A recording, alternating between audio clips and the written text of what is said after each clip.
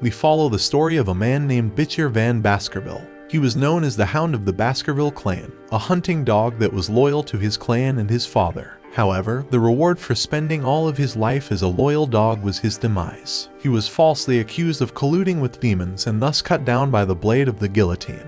In his final moments, he swore to himself that if by a miracle he had another chance at life, he would never live the life of a hunting dog that's killed after the rabbit hunt is over. In the grand mansion of the Baskerville clan, in a room well lit by the moonlight, many cradles with crying babies inside were lined up on both sides. A baby among them suddenly opened his eyes wide, flabbergasted about where he was. It was Bisker, who had turned into a baby, but he hadn't realized it yet. He could feel how heavy his body was, as well as the unbearable noise around him and could only wonder if he was in hell.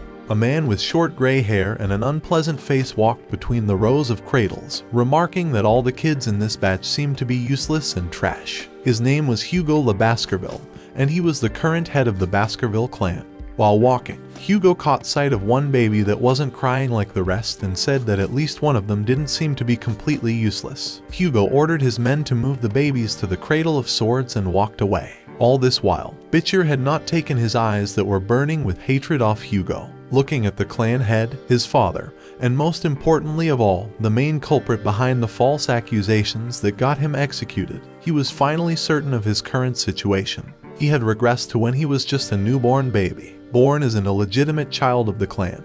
He was trained harshly in his previous life to become a hunting hound for the clan. As a loyal hound dedicated to his mission, he did all sorts of dirty deeds such as assassination, espionage, and blackmail, all for the sake of turning the Baskerville clan into the greatest of the seven clans. The only thing he desired in return was acknowledgement by Hugo Le Baskerville and the Baskerville clan.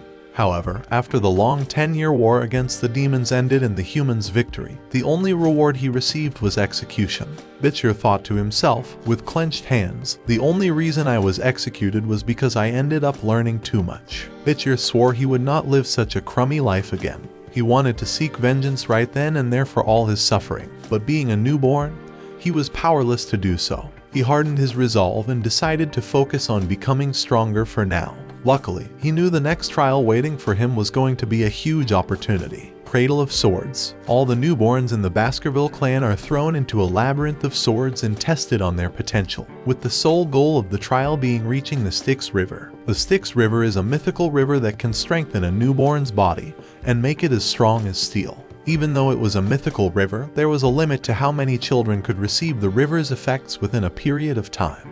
Bitcher immediately formed a plan in his mind and decided to head straight through the wall of swords to reach there the fastest. As he moved through the wall of swords, numerous wounds appeared on his body, but he didn't pay them much attention and continued moving. In his previous life, he couldn't receive the blessing of the Styx River due to his siblings pushing him aside. This time, he planned on monopolizing the river as long as he could. Before long, he arrived at the river and plunged straight into the water, surprising everyone that was overseeing the trial. As his body submerged deeper into the water, the river water seeped into his body through the open wound altering even his bones. The pressure of the water suffocated Bitcher, making it painful to stay submerged. However, he remained steadfast and tried his best to stay underwater. On the surface, the people of the family started worrying, fearing that the young master would meet his demise. Hugo, on the other hand, showed no concern for the child's safety and even laughed like a madman.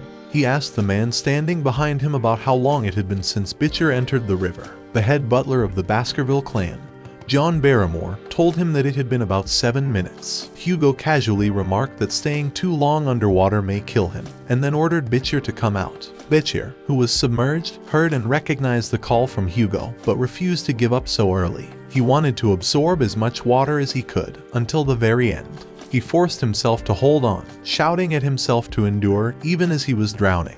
Bitcher soon reached his limit. Just as he was about to croak under the pressure, he was pulled out of the river by Hugo. Hugo held the knocked out Bitcher by his leg, looking visibly excited. He remarked how Bitcher had not only plunged into the river Styx, he had also drank it, even growing teeth in the process. Only now did Hugo develop any interest in his own son, and asked the head butler John about the name of the child. Bitcher, who was held upside down, was boiling with rage inside. He planned on quietly sharpening his fangs, and when the right time came, he swore to destroy the Baskerville clan with his own hands. Bitcher Van Baskerville at the age of 8, the talent he possessed was enough to be called a genius prodigy. However, inside the Baskerville clan, it was only average. At the age of 20, he received missions that were usually assassinations, information gathering, or subjugations. At the age of 29, he felt the limits to his swordsmanship and fell behind compared to the top talents of the main house. At the age of 30, a gate appeared in the world that connected the human world and the demon world together, and the invasion of the demons began.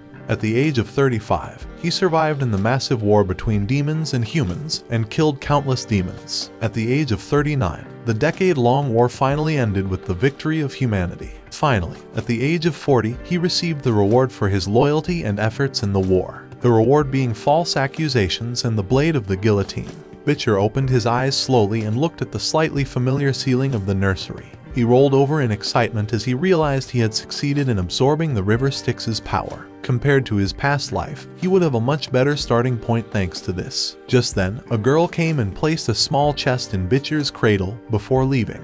Bitcher's keen hearing picked up on the girl's complaints about how Madame was going too far by doing something like this. Bitcher was confused as to who Madame was, and why would anyone give a gift to an illegitimate child like him. And soon, his suspicions were right on the mark. The chest did not contain any gifts, but rather two bloody mambas slithered out of the chest and hissed at him. Bitcher was surprised. Two rare breeds of poisonous snakes just to assassinate a child. The madam was probably trying to reduce competition for her own child. If the snakes were left on their own, all the children in the nursery would be in danger, as expected of Baskerville, thought Bitcher as a grin crept up on his face and his eyes shone with madness. The snakes lunged at him, but before they could reach him, Bitcher caught them both by the head in one swift motion.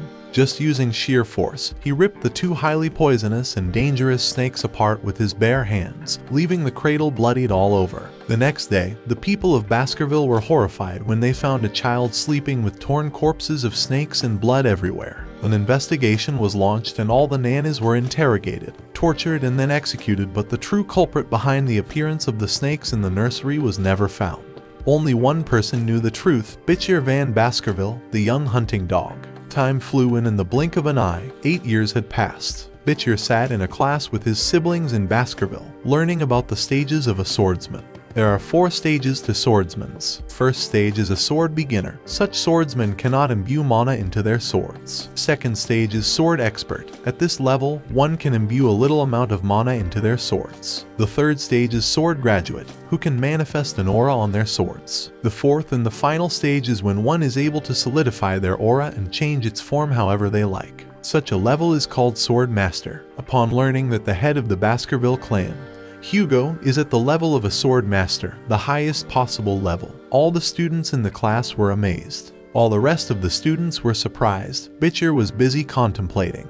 His enemy being at the level of a sword master, he wanted to recover all of his strength before his regression before his coming of age ceremony. Due to his contemplative expression, the instructor teaching the students was impressed. With the body strengthening through the Styx River and an incredible mind, Bitcher's talent was held in high regard by everyone. The instructor thought to himself that the clan head will be elated when he hears of the achievements of young Master Bitcher. However, he was completely oblivious to the sinister thoughts in the eight years old Bitcher's mind as he wondered how many years it would take for him to kill Hugo. Bitcher's remarkable talent caught the attention of many people, and his status as an illegitimate child made many people's baleful eyes, particularly three brothers at the moment. They pulled Bitcher to the side and cornered him, intending to bully him and calling him a half-trash and an illegitimate child. Bitcher recognized them instantly from his previous life. He knew them very well. After all, they were the ones that put the false accusations on him and stabbed him when he was running away.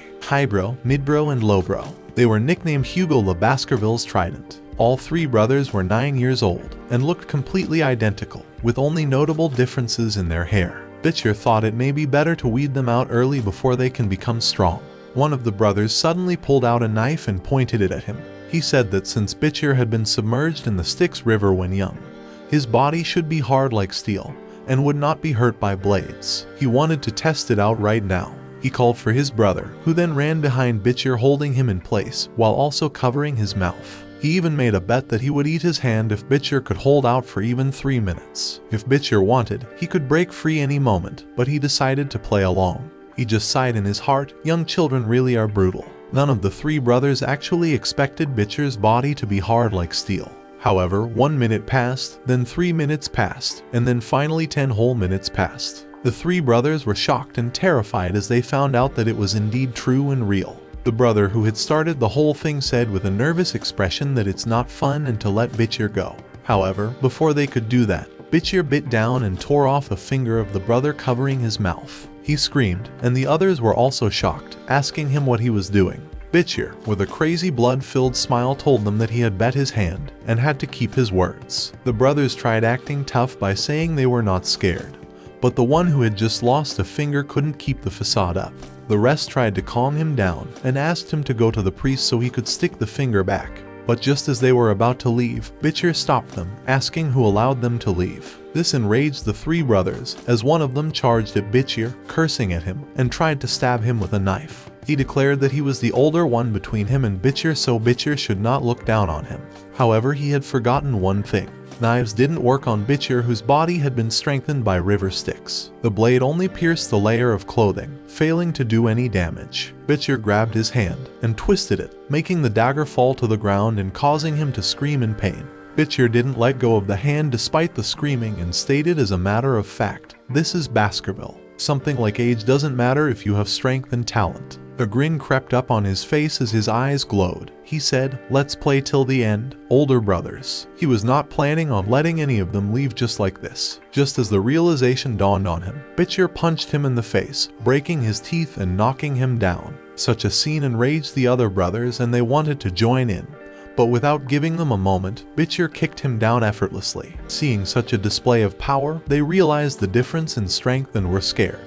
However, Bitcher said that there was no need to be scared. If they got treated in time, there wouldn't be much of a problem. He picked up the dagger that had fallen to the ground earlier and stated with a smile that he would let one of them go and kill the other two. The brothers were surprised and skeptical. They asked who was Bitcher going to let go while writhing in pain. To their utter disbelief, Bitcher threw the dagger towards them and told them that it was up to them to decide. He wanted them to fight each other and the winner would get to live. Before leaving the room, he fanned the flames saying that at least one of them should live with an amused smile on his face. The door closed with a subtle thud, and the three brothers eyed each other with wariness, the tension in the room growing so thick that one could cut it with a dagger. Outside the room, Bitcher listened to the sounds of struggle coming from the inside and thought about how Hugo Le Baskerville's trident had crumbled in itself, without much effort from him. In another place, Baskerville's head butler, John Barrymore explained matters regarding other clans to the clan head, Hugo Le Baskerville.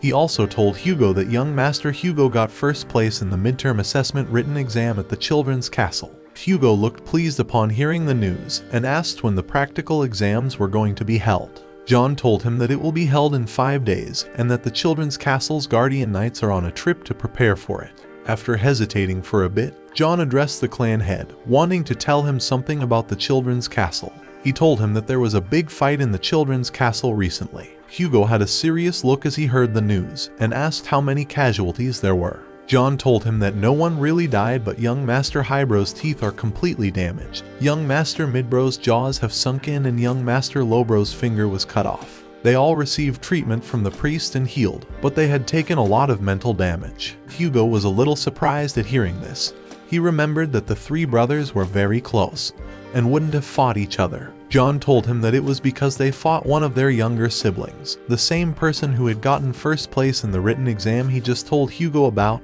young Master Bitcher. Hugo was shocked and decided to have a talk with Bitcher. They called for Bitcher who soon arrived. After the pleasantries, Hugo got straight to the point and asked him why he had crippled the triplets in the advanced class. Bitcher opted to play the role of an innocent kid, saying that the triplet received appropriate treatment and should have gotten better. Hugo stressed that he was not talking about the physical injuries, but instead the mental trauma the triplet suffered. He then explained how since that day, the three brothers have started eating separately and even stopped talking with each other. He remarked how their three-way combination attack had potential to grow into a work of art, but because of Bitcher, a massive rift had formed between them.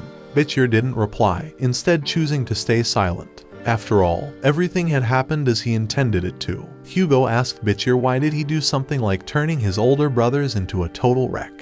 Bitcher, who had been silent until now, simply stated that he was stronger than them, and a strong person doesn't make mistakes. Hugo paused but for a brief moment, before telling him that he had a chat with the triplet, and they decided to forgive Bitcher's actions. He asked if Bitcher felt any sort of guilt. Forgive me, said Bitcher with amusement. He remembered in his previous life. There was once a time when the last child of a clan that had perished to the Baskerville clan came to meet Hugo directly. She, who had become a nun after all those years, came to tell him that she forgave him. And after hearing that, Hugo responded with but one cold line. I believe that forgiveness is nothing more than the sorry excuse of the weak who can't get revenge. Bitcher repeated those exact same words at this moment, which made Hugo smile like an insane person. He hadn't expected such an answer from such a young child. Hugo agreed with Bitcher, saying that strength was justice and being weak was a sin.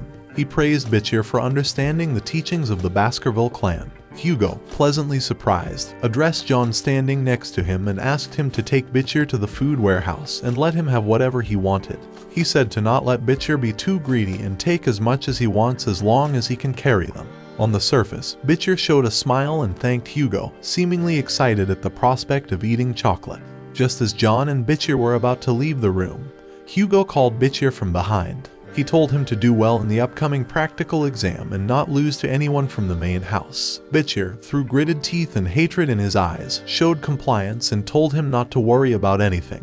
John took Bitcher to the food warehouse and presented him with the chocolate that the young girls of the Morgue clan, who are rumored to be gourmets, enjoy. However, Bitcher was not interested in anything processed, which made John quite confused. Bitcher requested cacao beans, a kind with a very strong flavor. Though confused, John did as he was asked to, and produced a bag of bloody beans. Just one of such a bean was enough to make 100 liters of chocolate. Bitcher took the bag of beans and tasted one, wincing at the strong flavor. The chef asked Bitcher if he should take the beans to his room after processing them. Bitcher refused the offer, saying that he wanted them as they were unprocessed. This statement made John very confused. Previously, he had thought that Bitcher wanted to take the cacao beans so he could have a lot of chocolate. But now he was thinking whether the young master just has a weird taste. In fact, Bitcher did not want the bloody beans to eat. Their real purpose would soon come up in the practical exam in five days. Thanks to his knowledge of the future, Bitcher knew that on that day, an unprecedented and a massive incident will happen in the Baskerville clan. The Baskerville clan was called the Berserker clan by the rest of the world. Every child born there was put through an education program. They had to climb up a steep mountain for basic stamina training right after learning how to walk and resting was not allowed outside of designated times. At bedtime, they would have to sleep with the corpse of a demonic creature or a baby demonic creature in order to adapt to the tough environment. Once that period ended and the children turned 8 years old, they would be faced with assessments of gruesome difficulties. That was the reason why the Baskerville clan earned the name of Berserker clan. Time flew by fast, and the day of the practical exam came. The young hounds gathered at Mount Le Rouge et Le Noir, a mountain filled with demonic creatures that were captured at the borders of their territory. Baskerville clan instructor guide dog, Pavlov Van Baskerville, stood facing the young hounds that would be taking the practical exam this time. With the rest of his companions that were covered in hoods, Pavlov addressed the participants and explained the contents of the practical exam. Only two things needed to be kept in mind. One was to survive on this mountain for a month, and the second was to hunt strong demonic creatures that were roaming the mountain. The point system worked like this 0 points for dying, 10 points for successfully saving someone's life, 30 points for saving someone's life without being heavily injured, 50 points for surviving by eliminating another participant, 70 points for hunting down a demonic creature and surviving, 90 points for meeting all the conditions stated beforehand. 100 points. There was no way to get that high of a score. In addition to all that, a badge was handed to each participant, and stealing someone else's badge would reward them with bonus points. All the students were getting nervous and anxious listening to the instructions. The test was very dangerous, and they couldn't fully trust each other either. Pavlov continued, advising them to make sure to not leave the designated area where only the subjugated demonic creatures lived. Outside was unknown and unexplored territory with many terrifying demonic creatures living inside. During the exam period, the guide dogs, or also called the guardian knights, would be overseeing every move of the participants and secretly score them. Alongside the rest of the participants stood Bitcher but unlike everyone, he was not nervous at all. In fact, he was even a little excited since he had not been here in a while. Around him, the other participants were discussing rumors about how he had stayed in the river Styx for seven minutes, or how he killed two poisonous snakes as a baby. The triplet of brothers also tried their best to not make eye contact with him. Pavlov took out a bell and told them the timer begins when I ring this bell. Just as the first clang of the bell resounded, all the participants dispersed instantly, disappearing from sight, not wanting to miss a beat. Some decided to secure an advantageous position first, while some followed behind others, intending on stealing their points. The triplet of brothers moved together, but the discontent between them was very clear. After the students disappeared, Pavlov took out a cigarette and lit it, thinking to himself, it was not forbidden but the exam did not encourage killing. Since there were point deductions for killing, everyone will try their best to avoid killing others with their own hands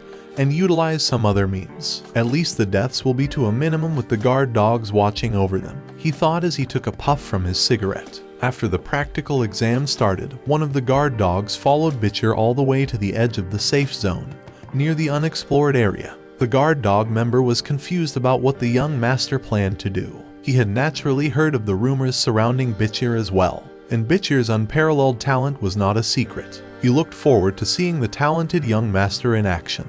However, his expectations were going to be shattered soon. Bitcher came to an open area with a huge tree devoid of leaves. He checked the ground and made sure everything was right, and then decided to stay there for the time being. It was time for him to enjoy his vacation. The guard dog who had heard him was astonished, while the other participants fought against each other and against dangerous demonic beasts Bitcher collected wood for the fire, dug many a holes, and slept inside a makeshift hut that he conjured himself. He was living a relaxed life and enjoying it. The guard dog following him was fed up with how Bitcher was acting. All he did was waste his own time by sitting around like this. He wondered if he just planned on hiding here till the end of the exam. The guard dog even started doubting whether the rumors about him were true or not. In the end, he decided to leave, thinking there was no need for him to watch over someone who planned on hiding until the end.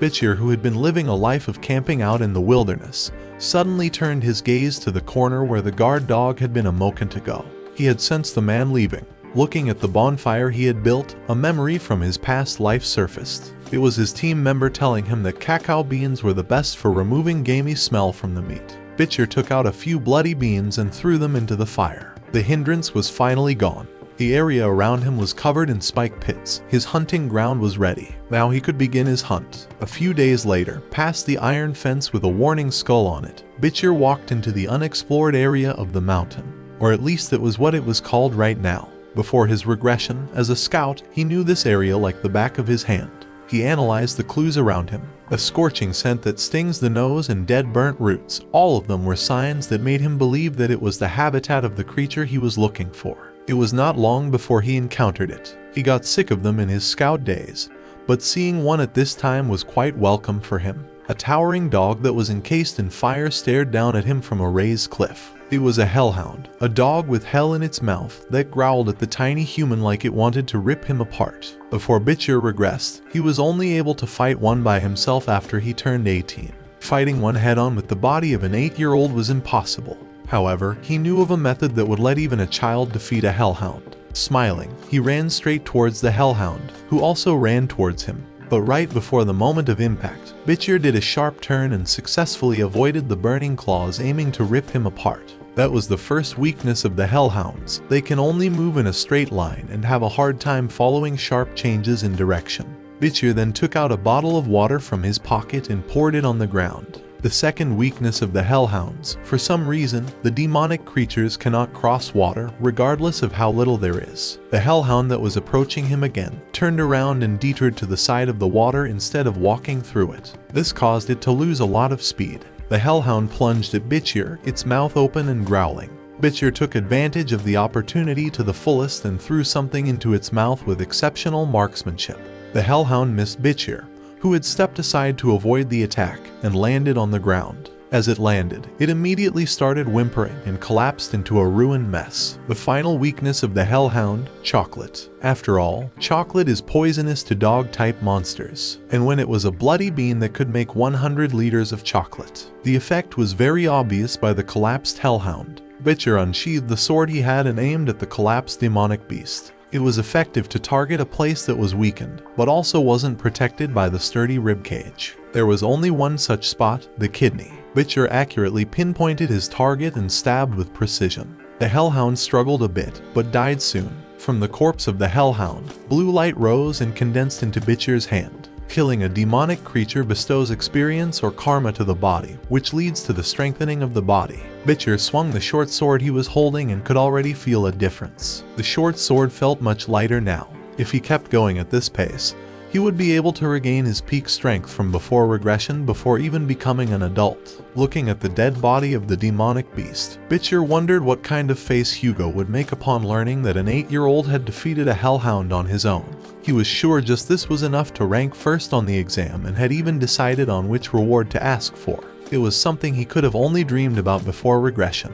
Now he was, planning to monopolize that object which nobody knew the true value of yet. Just as he was about to cut off the head to take with him, he heard the sound of footsteps and looked back, only to find a pack of hellhounds. Bitcher cut off the head of the already dead hellhound and turned around, fully prepared to kill all of them. He had a lot of bloody beans left so he was not planning on leaving after just killing one anyways. Suddenly, all the hellhounds started shaking with fear. Bitcher knew it couldn't be because of bloodlust from a mere 8-year-old. Normally, hellhounds would rather die than submit to their prey, unless there was another apex predator behind him. Bitcher looked back and was surprised to find a three-headed, towering monster, Cerberus. A Cerberus was a creature with a demonic rating of a plus. Bitcher couldn't understand why a creature that should be in the 7th ridge was in the 1st ridge. After looking carefully, he realized that the Cerberus was bleeding and had numerous wounds all over its body. Someone must have been trying to hunt it. Now that he thought about it, the barbarian tribe lived on the other side of the mountain.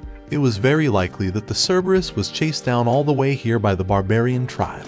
This was a great opportunity that he had to avail, even by using everything he had. Bitcher had been hiding his skills within the Baskerville clan.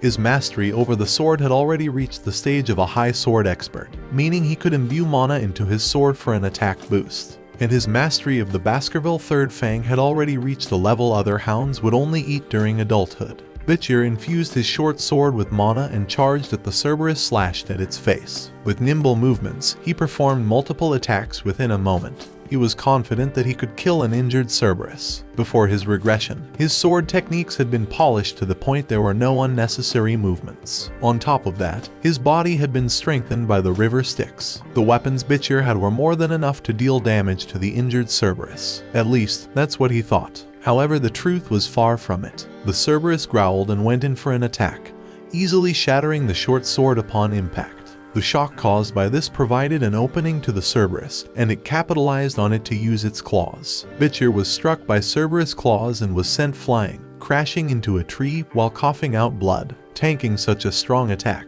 Bitcher's consciousness slipped and he blacked out for a moment. Waking up with a jolt, Bitcher saw the Cerberus slowly approaching, the distance between them not that big. He also couldn't feel his left arm, wondering if it had been torn off. However, upon looking at it, he saw that there was only one big wound. Granted, it was deep enough that it rendered his arm useless for the moment, but getting it treated would resolve the issue. Even if the Cerberus was wounded, he had expected far worse than this. It was all thanks to the body strengthening of the River Styx. Bitcher praised the River Styx, and hurriedly moved out of the way of the Cerberus, who had pounced on him. Bitcher assessed his overall situation. Surviving another strong hit seemed difficult, River Styx's power or not. However, even in a difficult situation, a veteran hunter like him always looked for the best course forward and the best action he could take right now was the 36th stratagem, retreat. Bitcher turned around and ran as fast as he could. If the Cerberus was not injured, it would have already caught up to him and torn him to pieces. Thankfully, with its current state, Bitcher could barely outrun it. After running for a while, Bitcher came across the steel fence that marked the boundary of the explored region. He swiftly jumped over the fence with nimble movements and continued running seamlessly. He wanted to reach the place he had prepared, only then did he have any chances of survival. Otherwise, if he was caught before that, he would be dead. The Cerberus was relentless in its pursuit, slowly decreasing the gap between itself and its marked prey. Just when Bitcher was about to be caught, he reached his destination. It was the place where he had camped before and dug around some spike traps. Bitcher jumped over a pit that was covered with mud to catch people off guard, and with just the distance of a few inches between him and the Cerberus open jaws, the Cerberus stepped into the pit and sank, getting impaled by multiple spikes. Seeing Cerberus screaming in pain, Bitcher wiped his sweat and heaved a sigh of relief who knew that the traps he had made to deal with the Hellhound pack would come in handy catching a Cerberus. Just like the Hellhounds, Cerberus was also a dog-type monster, and in his preparation to deal with the Hellhound pack, Bitcher had coated the spearheads in the pits with bloody bean extract. The bloody beans did their magic and severely weakened the already weakened Cerberus, but it refused to back down, growling even more intensely as a last form of resistance. Bitcher held a spear in his hand and threw it with precision at the Cerberus, striking it hard. The Cerberus finally climbed out of the pit of spikes and started moving towards Bitcher with slow steps. 1, 2, 3, 4, 5, 6, 7. After taking 7 steps and almost reaching Bitcher, the Cerberus collapsed helplessly on the ground. Bitcher heaved a sigh of relief at this sight. It was finally over. The wooden spear he had thrown at the last was a bit different from the rest, as it was coated with the poison from the bloody mamba. It was very difficult to obtain but luckily he had stashed some aside from when he was attacked as a baby. After the death of Cerberus all three heads, the blue light rose from its corpse and swirled around Bitcher, as Bitcher gained the experience points from killing an A plus rank demonic beast. Now Bitcher had to think about how to take Cerberus' corpse with him. Since the cause of death would be clear, he wondered if the Guardian Knights who saw him prepare the traps would testify for him or not. However, he could worry about that later. Right now he had something else to focus on. Cerberus was a gatekeeper type monster that had a habit of protecting its territory. If a Cerberus was here, then there would definitely be a dungeon near the place it was defending. Dungeons are a strange space that holds treasures. They are also sometimes inhabited by powerful demonic creatures. Bitcher decided to cover himself with Cerberus scent, covering himself in mud. This way he would be able to avoid confrontation with most demonic creatures in the dungeon. Dry and crumbling dirt, rotten leaves, damp roots as well as the Cerberus footsteps. Bitcher followed all sorts of traces he could track and finally found its lair, the dungeon that Cerberus was in. The dungeon appeared dark and dangerous. Bitcher remembered coming here before his regression. It was going to be discovered in 10 years from now on, and at the time of its discovery, it was empty. But it was different right now. The smell of decay and the scent of mana both intertwined, making Bitcher sure that it hadn't been cleared yet. With palpable excitement, Bitcher stepped inside, wondering what kind of treasures were awaiting him. Bitcher walked through the dark cave without encountering a single monster along the path.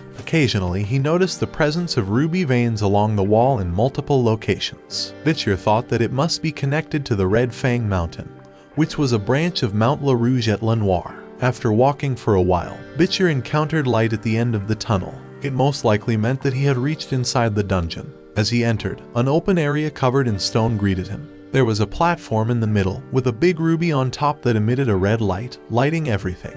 The platform was a contraption that released light by absorbing mana and sending it to the ruby. As he moved closer, Bitcher noticed a skeleton corpse with a note in front of it. There were injuries all over the body of the corpse, as if hacked away by a wildly swung knife. And a lot of time seemed to have passed, since all the blood had dried brown by now. Bitcher picked up the note that was in front of the skeleton and read it. He recognized the handwriting on the note instantly. It was the same penmanship that had been handed down in the Baskerville clan for generations. There was a high chance that the person who had written the note was a Baskerville. The note read as the following. My name doesn't matter so I will refer to myself with the vague name of Cain. I am recording this because I wish for the people who come after me to not make the same mistakes I did. My household legends say that this place is an ancient dungeon, and my younger brother Abel stumbled upon it. We overcame innumerable trials as we raided this dungeon. After killing a myriad of monsters and making it to this stone chamber, we came across the ultimate riddle here. This riddle tied us down for a long time, for a whole of three years. To persist for three years, they must have coveted the treasure very badly, remarked Bitcher. He thought the mentioned ultimate riddle must still be within this stone chamber. Not long after, he already found the so-called ultimate riddle.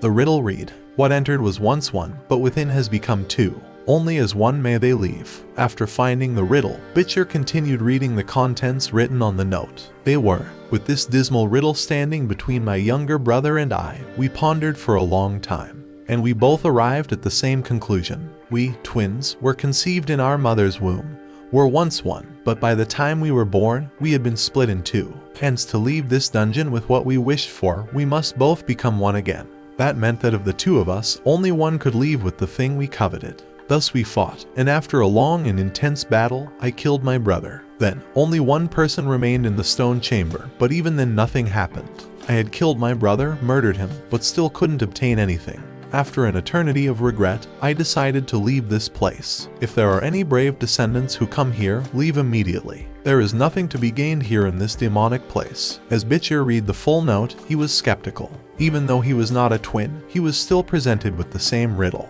It could only mean one thing, that Cain and Abel both interpreted the riddle incorrectly and died in vain. Bitcher racked his brain hard, thinking what could be the answer to the riddle. A dungeon that could not be raided didn't exist. There had to be an answer to the riddle. He just had to think hard. All of a sudden, it clicked in his mind. Figuring it out this fast, Bitcher couldn't help but shake his head for the two brothers. He felt that Abel and Cain happened to be very unlucky. They were both caught up in their preconceptions and were unable to solve the riddle, even though it was a surprisingly simple riddle. And the answer was present in the dungeon. Bitcher stepped closer to the platform and reached out his hand towards the large ruby while speaking. The dark tunnel contrasts the bright stone chamber. When he entered the tunnel, he was one with his shadow due to the darkness. But the moment he reached the stone chamber, he became two because of the ruby's light, one his shadow and the other him. If it became dark again, then the riddle would be solved by him becoming one with his shadow in the dark. Bitcher punched and shattered the ruby that was emitting the light, plunging the stone chamber into darkness. The next moment, a stone wall opened. Beyond the stone wall was another stone chamber with a platform in the middle. However, instead of a ruby, this time there was a sinister looking sword that emitted a dark aura. Bitcher recognized the sword instantly and was shocked. He couldn't find the legendary sword Beelzebub that could only be drawn by the Baskerville clan was located in such a place. He remembered seeing its illustration once before his regression in a book on mythology. The Fly of Gluttony Beelzebub. In the ancient myths of the unprecedented great demons who invaded the continent, there were seven calamities, the demon constellations. In order to stop the seven calamities, the leaders of the seven great clans each stepped up and faced one of the demon constellations. At that time, the demon that the Baskerville clans had faced was the Fly of Gluttony, Beelzebub. As so, the remains of the subjugated Beelzebub were sealed away in the Baskerville territory. That's how the legend went, however no one believed in it today. But Bitcher knew that the legend was actually true. This sword would fall into the hands of the demons in the future and would bring about great destruction. But that was the story of his past life. In this life, something like that would not happen, because the sword was going to be his. With excitement dancing in his eyes, Bitcher stepped forward and attempted to pull out the sword from the stone platform. Suddenly, the aura of the sword erupted, growing stronger by the minute. The aura then converged and was absorbed into the back of his hand. The sword on the altar disappeared entirely, and took on a different form as a blade that extended from Bitcher's wrist. Bitcher looked at the sword made from the remains of a demon constellation and burned with exhilaration. He had not expected such a great harvest from his trip. First the power of the river Styx and now the blade of Beelzebub, coupled with his unparalleled talent. There was no way to predict how strong he would become done with everything in the dungeon. Bitcher was planning to head back when suddenly dizziness came over him, causing him to fall to his knees. Intense hunger pangs assaulted him while the Beelzebub on his hand buzzed loudly. Beelzebub was telling Bitcher to feed it something. Bitcher walked out of the dungeon and the cave weakly. The insane appetite made him feel like his stomach was being torn apart. Not only that, his sense of smell also felt extremely enhanced and thanks to it, he caught a scent of something delicious. Beelzebub wriggled and pointed in a direction, as if telling Bitcher there was something delicious to eat over in that direction. After Bitcher followed the direction it was pointing to, he came across the corpse of the hellhound he had defeated. The blade of the Beelzebub extended, embedding itself into the flesh of the corpse and sucking its blood. As the blood flowed through the Beelzebub and into Bitcher, he finally felt the hunger subside. He guessed that Beelzebub must have been starving for a long time, being confined in a dungeon. He only hoped that the dry land and withered three in the Mount La Rouge et La Noire were not caused by the insane hunger of Beelzebub. Otherwise, he had no idea how he would be able to feed this thing.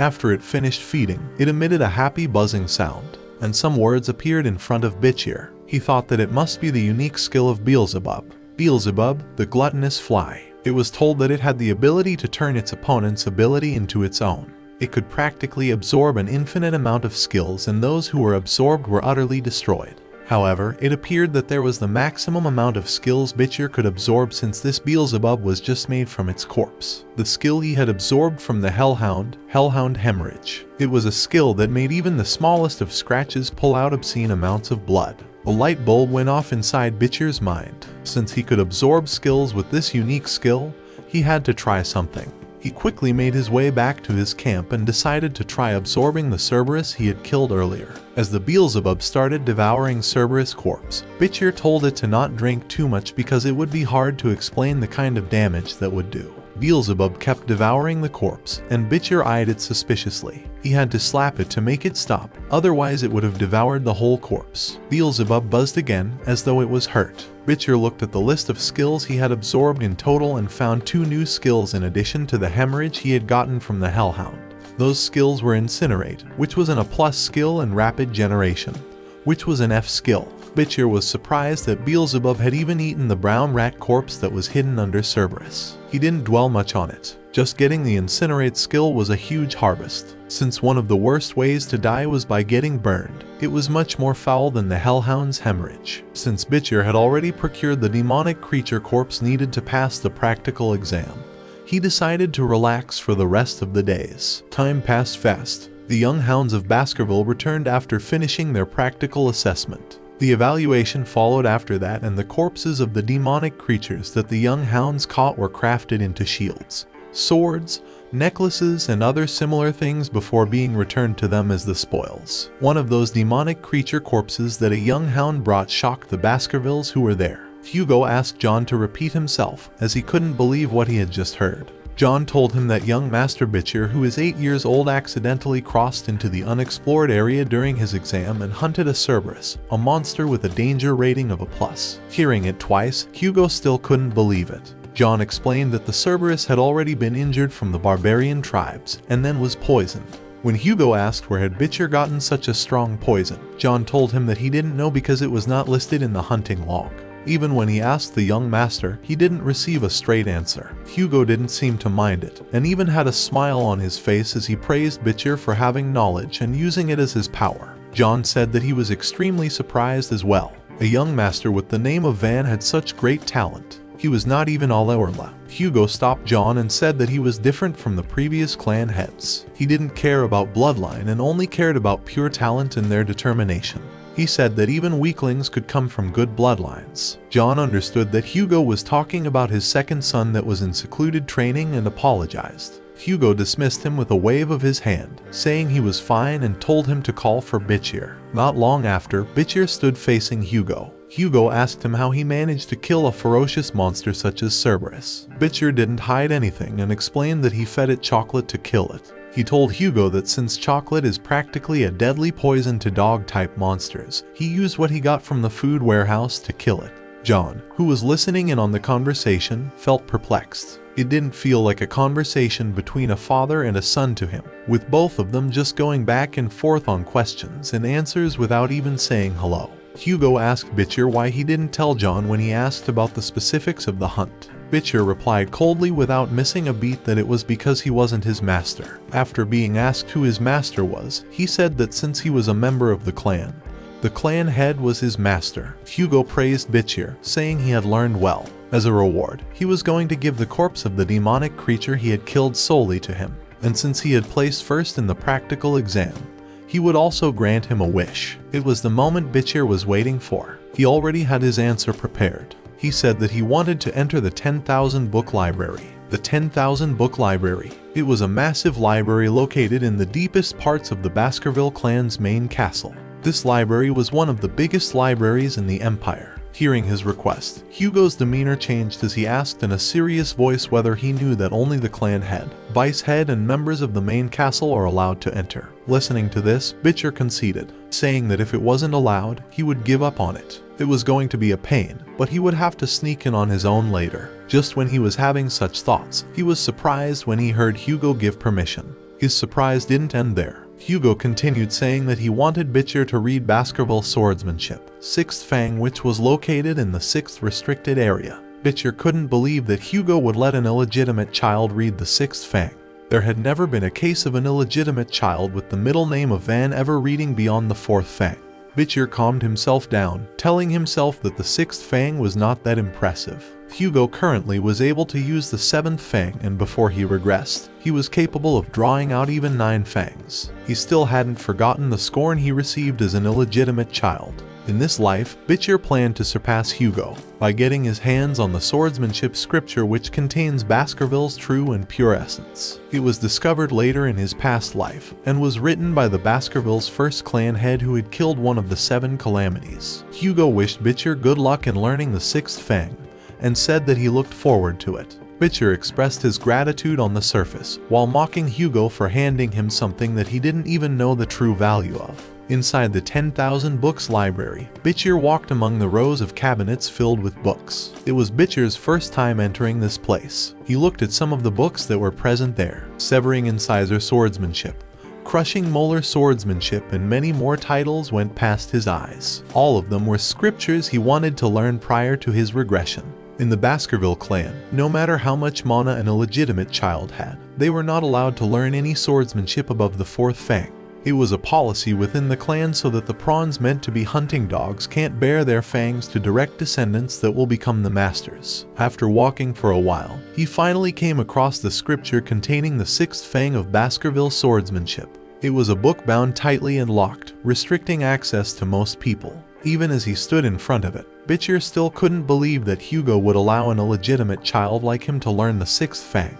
He inserted the key he had gotten into the lock and twisted it before his regression. Bitcher studied the theory behind the first and the fourth Fang swordsmanship like a madman.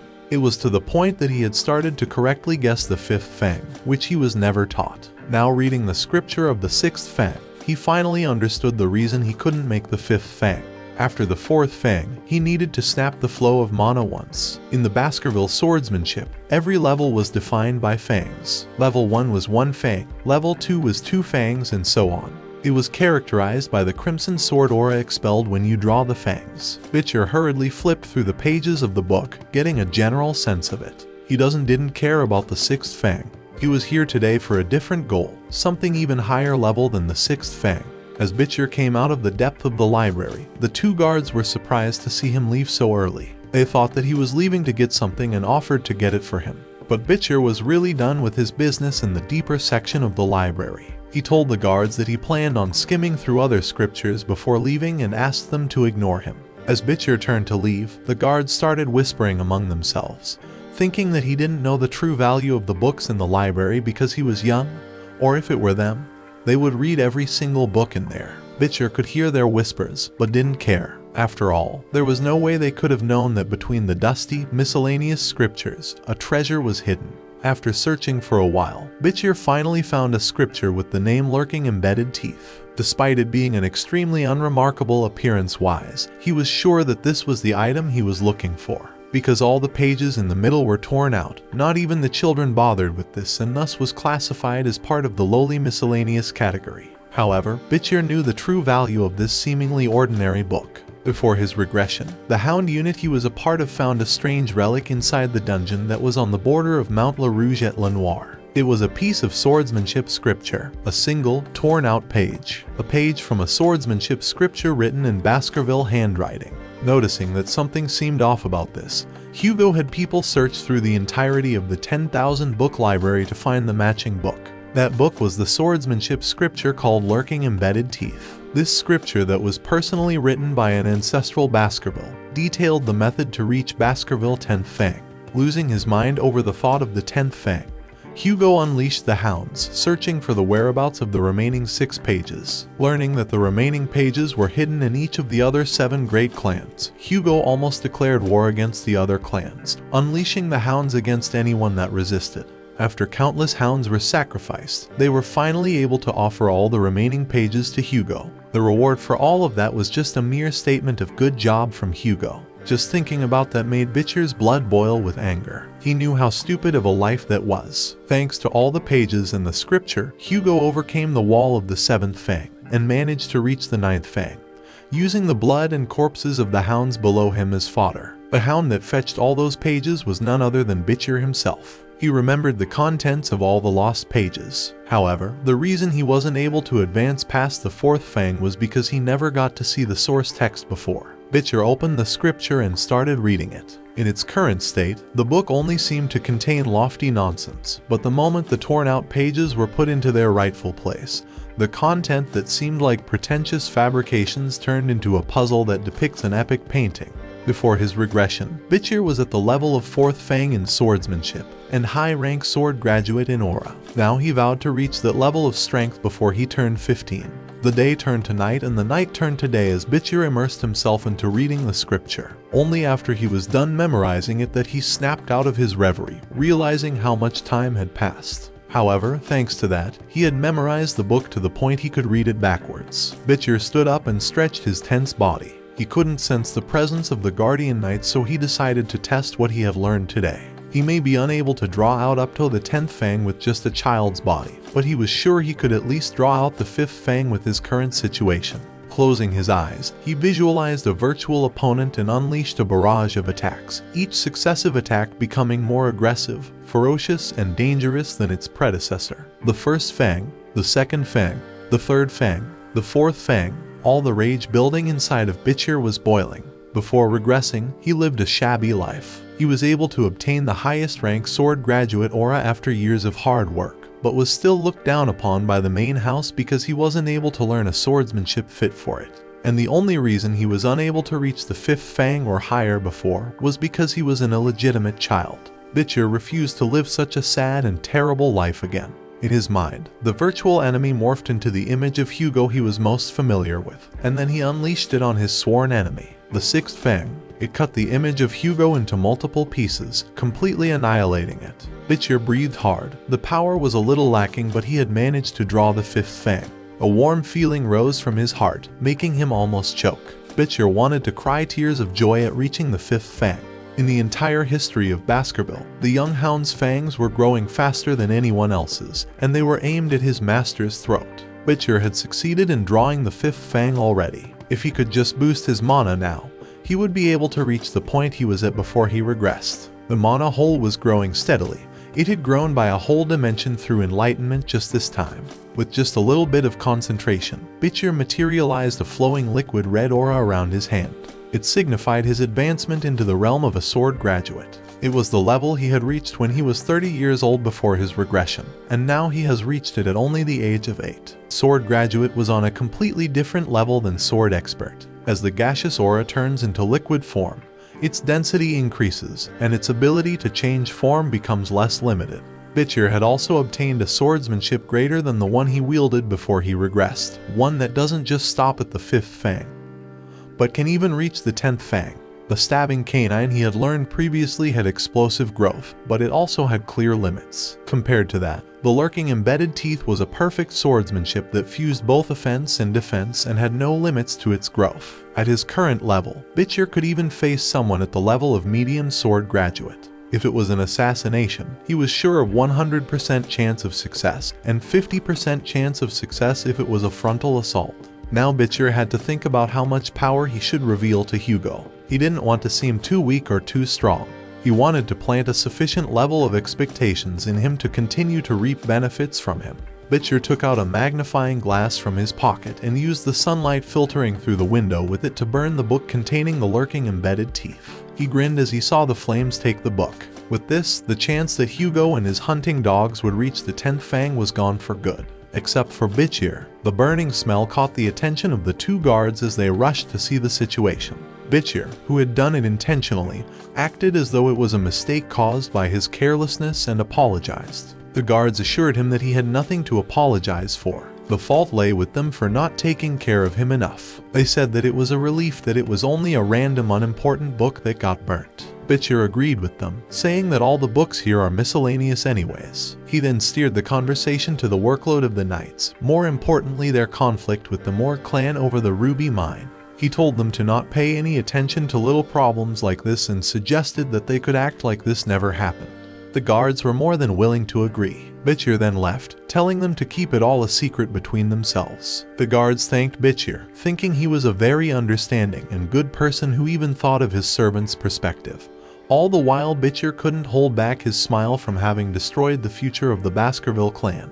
In the room, Bitcher stood facing Hugo who was sitting on a chair, and John who stood behind him like always. Hugo asked whether Bitcher had any enlightenment inside the 10,000 book library. Bitcher replied that he did but only a little bit. After Hugo asked him what he felt and realized, he explained that he felt something warm and sharp, while also soft and wave-like. Both John and Hugo were surprised upon hearing Bitcher's description. They suspected that it could be aura. Aura was proof that one had truly entered the world of the sword. Even prodigies who train without rest had to be at least 15 years old to enter the realm of low-rank sword expert.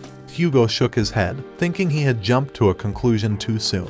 After all, Bitcher was only 8 years old at the time. He asked Bitcher to demonstrate his power, to which Bitcher agreed readily. In a huge area filled with a bustling crowd, Bitcher held his short sword in his right hand and stood confidently. On the seat specifically reserved for the clan head sat Hugo, with John behind him like always. John asked Hugo how he planned to test the young master's strength, to which Hugo told him that he was going to release a suitable demonic beast for him to hunt a demonic beast that was starved to make it more sensitive. With loud noises, the iron gates opened as a bulky green humanoid figure bound tightly in chains was escorted out by a guardian knight. The creature growled with red glowing eyes as though hungry for human flesh. It was an orc, a demonic beast with a danger rating of C. The audience marveled at the sight of the towering orc being brought in. They of course recognized the monster and knew of its danger. They felt that making an 8-year-old fight against an orc was a little too much. One needed to be at least 15 to be capable of facing one. However, they weren't too worried.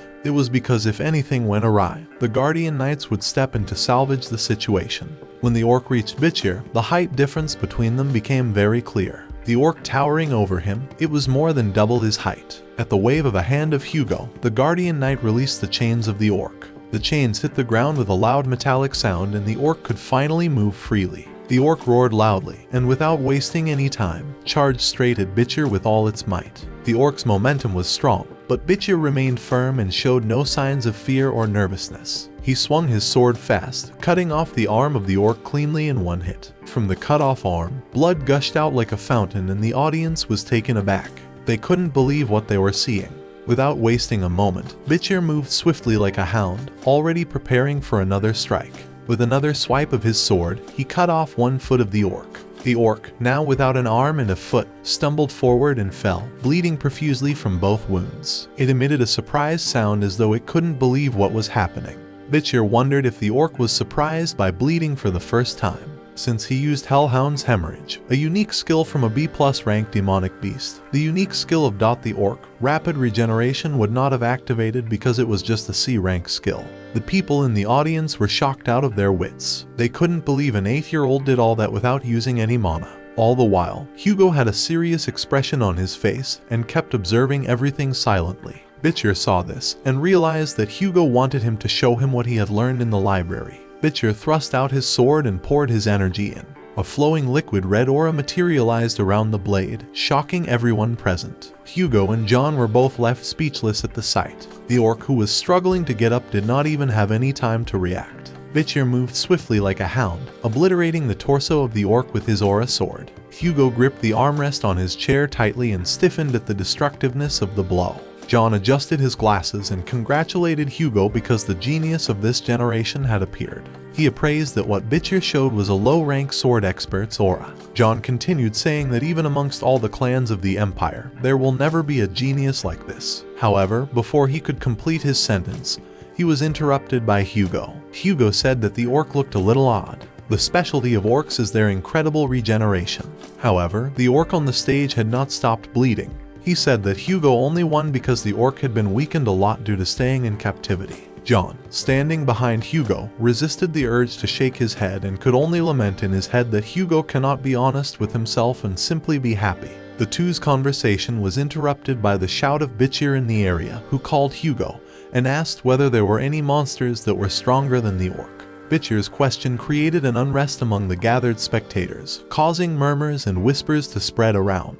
Bitcher wanted to reveal a significant amount of his strength. If he was lucky, his achievements will be recognized and he would not have a chance to separate from Hugo. He could, for example, be dispatched into the wild or enroll in the academy. Bitcher's request surprised Hugo for a moment, but he soon smiled. He said that it looked like the orc from faraway lands couldn't satisfy his son's hunger. He said that Bitcher was at an age where he needed to continue to experience real combat. Hugo addressed John, asking him about the individual from the barbarian subjugation they had captured to experiment on some time ago. John said after a moment of contemplating, that indeed they had one such monster. It was very likely to be highly sensitive since it hadn't been fed in some time. Hugo ordered him to bring it to the arena. As the monster appeared, the spectators were shocked and nervous, while Bitcher himself only looked at it with amusement. It was a troll, many times bigger than Bitcher and absolutely massive in size. It growled in a deep voice. Bitcher asked if he could start right away, to which Hugo agreed.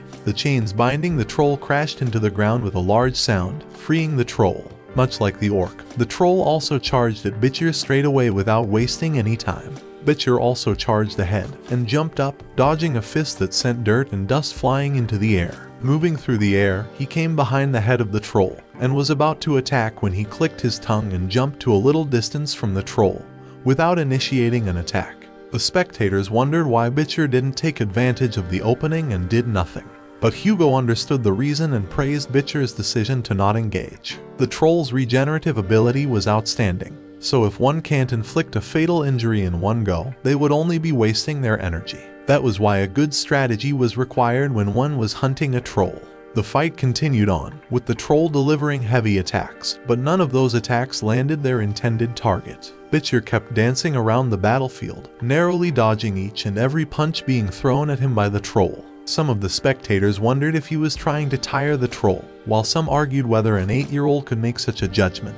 They felt it was what a true genius was really like. Bitcher, on the battlefield, was not having any trouble dealing with the troll's relentless attacks since the attacks were really slow, but he kept making a show out of it, always dodging them narrowly enough to avoid any injuries. He would be able to easily kill something of this level if he were to reveal his true strength, but that would complicate things. He needed to kill it as naturally as possible. A good method to do so was to use the troll's massive strength against it when it came in for an attack the moment he saw an opening. Bitcher utilized the momentum of the oncoming troll and put a deep cut on the troll's shoulder. The troll grabbed its shoulder and knelt on the ground, screaming in pain. Even though the troll received a significant wound, it would just recover right away from anything that doesn't kill it instantly. The people deemed that the troll couldn't be killed by the first fang of the Baskerville swordsmanship. But even then, they were all impressed by Bitcher, who was only 8 in appearance and his performance. In fact, Bitcher also knew it was impossible to cut through the troll's thick hide with only the first fang.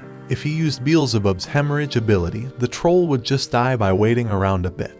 But that would be meaningless. Hugo, seeing that the fight was in a stalemate, told Bitcher to stop for now as it could get dangerous if the fight continued. However, Bitcher insisted on continuing the fight. He said that he was on the verge of realizing something if he fought for just a little longer. He said that if he could not finish the fight in the next hit, he would stop it. After giving it some thought, Hugo agreed to let him continue. Enraged after receiving a wound, even though it was already healed, the troll roared loudly in anger and charged at Bitcher. How much power did Bitcher wanted to show? He had already thought of the answer to this question. He wanted to set up a scenario where it looked like he received enlightenment during combat and gained awareness of the next level. Bitcher concentrated and created a dark red aura around his sword. In the face of the charging troll, he remained steadfast, holding his sword firmly. The instincts of the troll kicked in at this point, as its rage-filled expression morphed into one full of doubt and shock. Through a vortex of swirling red aura, Bitcher moved at a speed unlike before and aimed at the neck of the troll.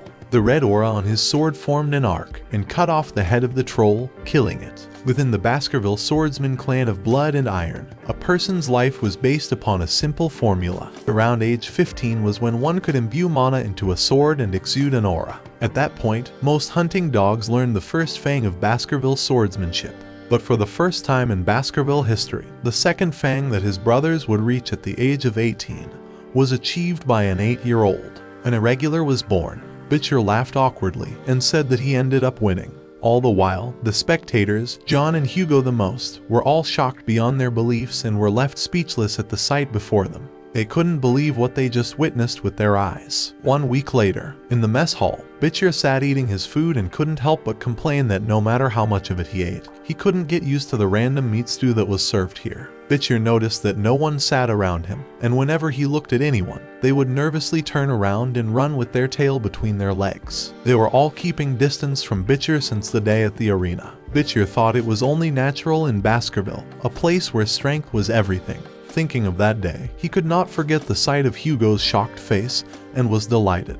The power he had revealed to the public was Baskerville's second fang and the strength of a medium-ranked sword expert. His true strength, however, was a weaker version of Baskerville's swordsmanship fifth fang and the approximate strength of a low-rank graduate. If one included the troll's unique skill Ultra Regeneration that was C+, it would be fair to assume that he was stronger than a regular graduate.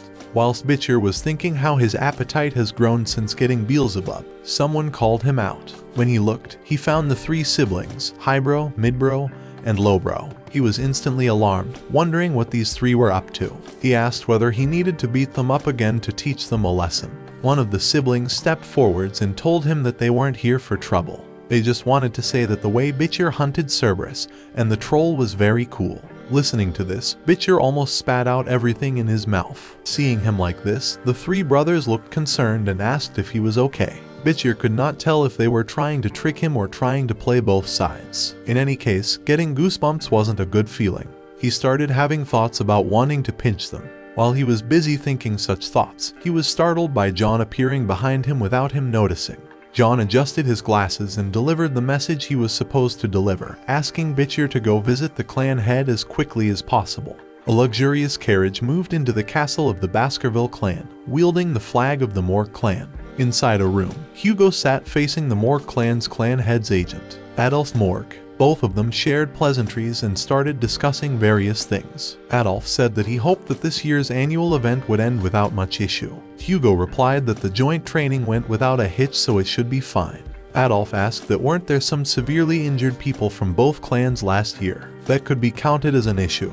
A vein popped in Hugo's head as he replied that the children of Morg clan must be very dramatic, calling mere scratches as severe injuries. Hearing the mockery, Adolf also popped a vein in annoyance. He said that it was because the Morg clan was prestigious and classy. A weird tension built up in the room between the two parties. One side was the prestigious Magic clan, the Morg clan, on the other side, the swordsman clan of Blood and Iron, the Baskerville clan. These two clans didn't always clash from the beginning. The Emperor, two generations prior said that magic and swords are complementary existences. Just from these words, the Baskerville and the Morg clans began to proceed with joint training. Only the children between the ages 8 and 15 were to attend, and the clan's annual event began with a very good atmosphere. However, at one point, a conflict emerged. In the territory between the Baskervilles and the Morgs, a ruby mine ownership issue had arisen, and so the relationship between the two clan heads was skewed. But because of the Emperor's orders, the joint training had to continue. Therefore, someone who was not the Morg clan head, his younger brother Adolf, began to visit the Baskervilles as his agent. Adolf decided to change the topic, saying that he had heard a rising star had appeared among the Baskervilles. A genius who might appear once in a hundred years from the Baskerville clan is a great fortune to the Empire. Hugo smiled listening to the compliment, and said that he didn't need to tout so highly about it. It caught Adolf off guard. He was surprised and found it unusual that a lizard-like bastard would actually react to compliments of his child. Adolf didn't harp on it, and said that great fortune had come on both sides. The Morg clan also had a genius appear. He then called for Camus to come in and give greetings. The door opened, and a young girl entered with slow and steady steps. As she sat next to Adolf, he introduced her to Hugo as the daughter of his elder sister, the clan head Rasbane. Her name was Camus. Adolf told Camus to greet the clan head, but what she did surprised everyone in the room. She called Hugo a thief who had stolen their ruby mine and demanded that he returned it to her. Hugo was enraged at being called a thief. All the while, Adolf started panicking, reprimanding Camus. However, Camus said that they were his own words. In the carriage about 1 hour and 42 minutes ago, Adolf had said that the pathetic bearded man stole their ruby mine like a thief. Hugo grinded his teeth, hearing the words of the little girl. Adolf tried to defuse the situation, saying that there was some sort of misunderstanding. Hugo just shook his head, deciding to let go of the matter. He said what would a young kid know and that Adolf didn't need to give excuses about the Morg clan's education policy to him. However, as though completely oblivious to everything that happened, Camus shouted at Hugo again, asking him to return the rubies, because she could not even conduct her research because they were lacking in rubies. Hugo couldn't control himself anymore, but as the Empire's sword saint, he couldn't do anything to a loudmouthed child.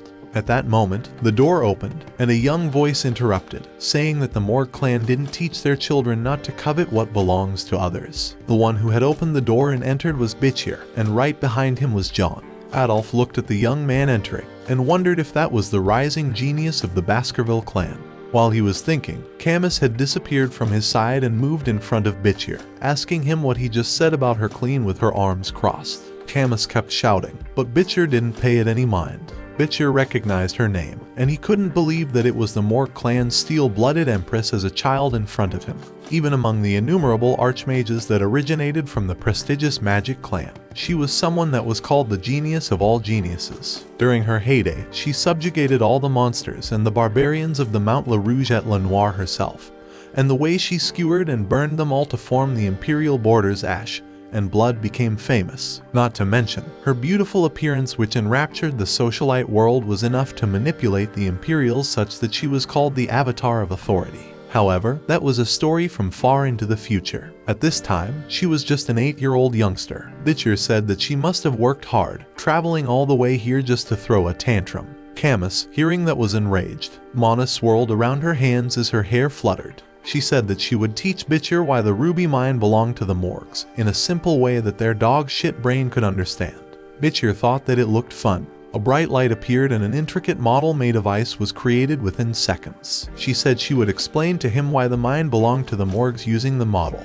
Bitcher was a little let down, as he thought they were going to fight. Camus pointed at the borders between the Morgs and the Baskervilles, also known as the Joint Security Area where the mine with high-quality rubies originate. The problem was that the mine's entrance was located in the Morg clan's territory on the surface, while the underground mine is located in the Baskerville territory. Camus argued that the mine was structured in a way that the Baskervilles could not mine out the rubies on their own. That meant the ruby mine belonged to the Morg clan. However, the Baskervilles were forcefully insisting that the Morgs were trespassing on their territory and interfering with their mining activities. Not only that, Baskerville had even rejected their offer to pay lease for the relevant territory. Adolf commented that his niece had a way with words. Bitcher, who had heard the whole explanation, said that the mineral called ruby is indeed often used as a magical ingredient, and there isn't a need for the Baskervilles to use the rubies that are mined. However, a lease of territory was not in the picture. He said that the Morg's biggest tragedy is that no one in the Baskerville clan is idiotic enough to lease out their territory just to earn chump change. This time, it was Hugo that looked pleased and Adolf looked nervous. Camus was shocked, but Bitcher continued and told her that they only cared about their territory, so the Morgs shouldn't enter. After all, the only ones upset about not having the rubies were the Morgs. Camus said that she would show it in an even more obvious way why the rights to the rubies belonged to the Morgs. She pointed at both castles and pointed out their own lands. She then stretched her arm from her territory into the Baskervilles' territory and asked who this arm belonged to now. Bitcher made sure that she was asking whose arm it was when passed into his territory. He grabbed her arm and said that obviously it was his now. Camus was flustered and squirmed, trying to get her arm free but Bitcher was holding strong. She said that Bitcher was silly for saying that she was his. However, Bitcher refuted her, saying that he never said that she was his. Camus was confused. Without any hesitation, Bitcher reached for the knife on his back and unsheathed it. Both John and Adolf were shocked, while Hugo couldn't believe what he was seeing. Bitcher brought up the knife and said that her arm was now his, as if intending to separate it from her body. Camus, who was both confused and terrified, was at a loss for words. Just as Bitcher was about to cut her hand, Camus shouted aloud, asking for her uncle to help her. Adolf also couldn't see it continue just like this and interjected. He released terrifying pressure, warning Bitcher to step away from Camus. Bitcher let go of her hand and Camus ran to her uncle, hugged her uncle and started crying. Adolf demanded answers from Hugo, asking him what was the meaning of this. Hugo turned to Bitcher and told him that his joke went a little too far. Bitcher apologized to Adolf and said that such jokes are normal between us brothers in the clan. He showed that the knife was just a fake by wiggling it around. Adolf was surprised, unable to comprehend why there was even a toy like that. Bitcher bowed in front of him and apologized again. But Adolf still was not letting go of his anger. Hugo interrupted their conversation, addressing Adolf and said that he was being too overbearing for a joke between children. Adolf's own words were spun around and now directed at him, and he couldn't refute them, diffusing the situation even further. Hugo told him that he had already thought of something on his side for the Ruby Mine situation, something that the Morg clan would like very much. Camus, with tears in her eyes, warned Bitcher and said that she would never forget this. Bitcher only replied in response. Time passed and the friendly competition between the Baskerville clan and the Morg clan began.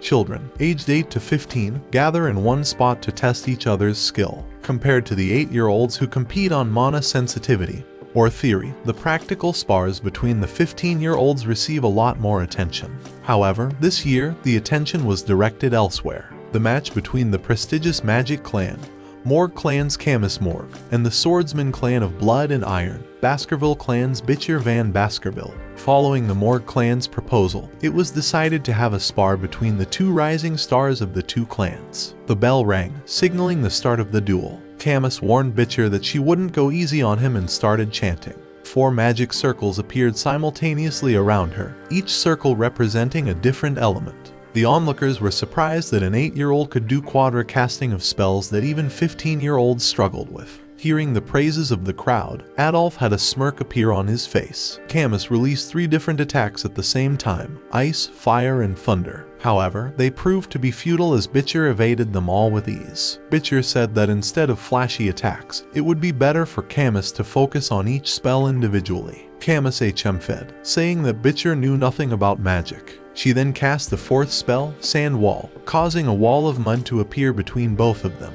One again, Bitcher broke down the sand wall with ease, shocking Camus. She wondered if it was the power of the Baskerville clan's river Styx. As Hugo closed the distance between them, Camus closed her eyes, bracing for impact, but the blow she had expected didn't come. Just when she opened her eyes, she saw Bitcher's smiling face and his stretched out hand. Bitcher flicked her forehead hard, sending her to the ground. Camus grabbed her head and asked Bitcher angrily whether he was going easy on her. Bitcher pointed at his forehead and said that her forehead looked like it was still hurting. He offered to end the battle early with his victory before it ended up worse. However, Camus refused to give up. She cast the sand wall double spell, creating two barriers between herself and Bitcher. Laughing out loud, Camus challenged Bitcher that he couldn't break through the barriers this time. Hearing her confident tone, Bitcher couldn't help but be at a loss of words. Wouldn't all of it be pointless if he just walked around the wall? In the end, Bitcher decided to play along. He used his hand and punched through the two sand walls, creating a big hole in them. With his arm past the walls, Bitcher asked Camus who the hand that had broken through the wall belonged to now. Camus was confused by the sudden question. Bitcher didn't give her much time to think, and answered that it belonged to whoever was the strongest. He delivered another forehead flick, causing Camus to fall back down with tears welling up in her eyes from the pain.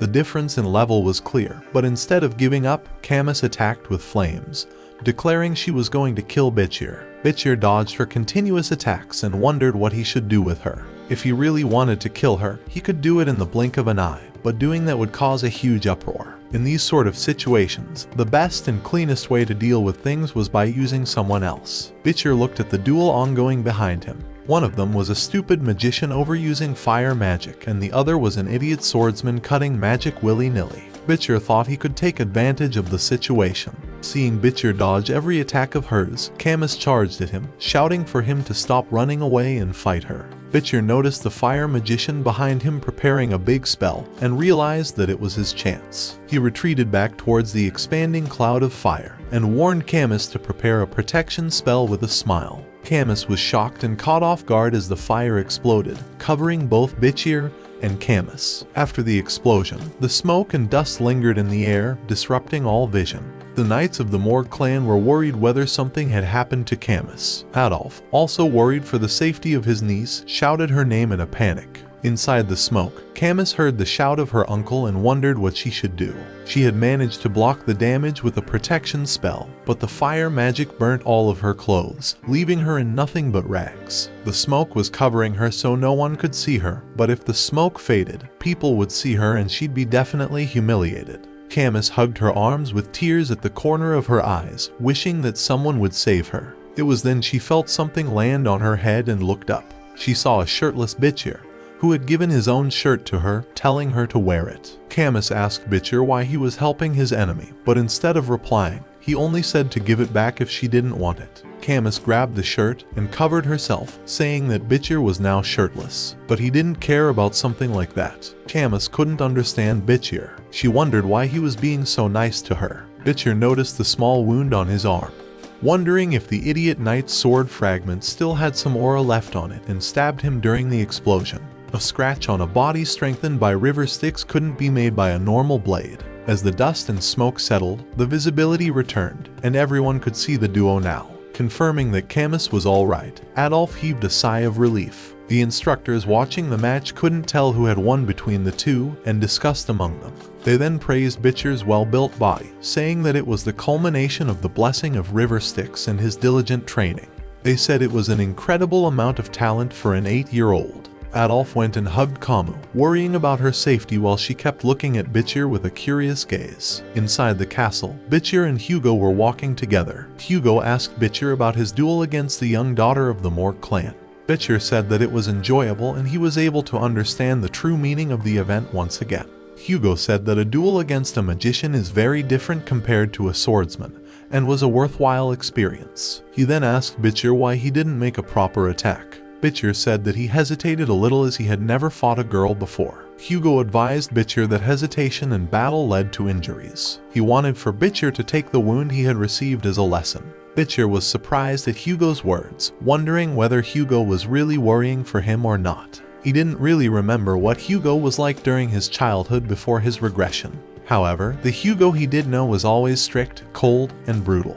There was a rumor that the reason for his personality becoming vicious was because he lost his first wife, and eldest daughter in a bitter way. However, Bitcher couldn't confirm it. Hugo didn't harp on the subject and asked Bitcher's opinion on the issue related to the Ruby Mine. Bitcher said the best course of action was to just give the mine to the Morgs. When Hugo asked his reasoning for thinking so, he replied that the task of the Baskerville clan was to develop the wilds and widen the border. The Red Fang Mountain, where the ruby vein flows, is downstream from Mount La Rouge et La Noire. The demonic creatures and barbarian clans there were their problems. If they utilized the Morg clan well, they would be able to minimize the damage for the development. Hugo praised Bitcher and said that it was the correct answer. After obtaining the rights to the Ruby Mine, Morg clan would station a considerable number of personnel at the site. They just needed it to steer the demonic creatures and barbarians to that side. That way, they would be able to deal with all the troublesome things in one place. With a crooked smile, he continued, saying that the ruby will redden even more by the blood of the Morgs. When that happened, even the clan head of the Morgs would regret setting foot in the Baskerville territory. Hugo said that Bitcher's strategy matched 90% of his plan.